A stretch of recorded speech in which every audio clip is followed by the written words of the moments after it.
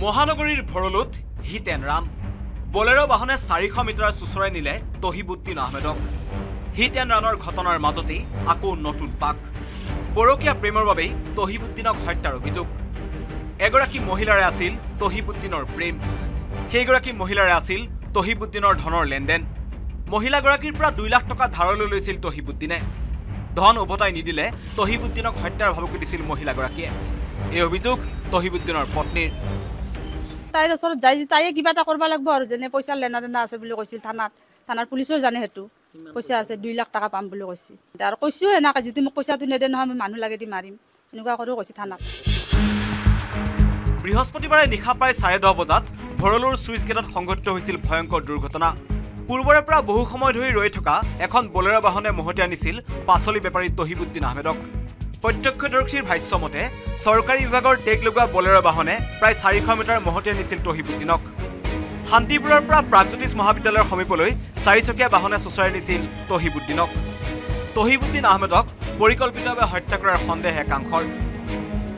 শান্তিপুৰৰ পৰা চুচৰাই লৈ আহিছে এখন গাড়ীয়ে বলেৰ' গাড়ী এখনে।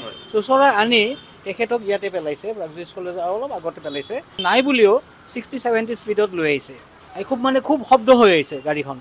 অহাৰ পিছতে ইয়াতে ইয়াতে স্পীড ব্ৰেকাৰ আছে তাতে বোধহয় সেই জটকা লাগি পেলাই ডেড বডিটো মানে তাতে পৰি গ'ল। পৰকীয়া প্ৰেমৰ বাবেই তহিবুদ্দিনক হত্যা কৰাৰ অভিযোগ তুলিছে প্ৰথমা পত্নীয়ে দুগৰাকী পত্নী থকাৰ পিছতো গুৱাহাটীত এগৰাকী অন্য মহিলাৰ সৈতে আছিল তহিবুদ্দিন।